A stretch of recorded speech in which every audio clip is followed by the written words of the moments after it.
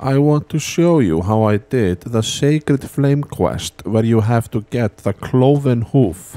What I did was I walked inside the Split Hoof Hold Cave located at the Split Hoof Crag. In this cave you will find two flame guards guarding a fire or a flame. As you see in the video, I pull the flame guards and the mauler joins in on the fight and I defeat them. After you have defeated the flame guards, you can go to the flame that was behind them and right click it to pick up the cloven hoof.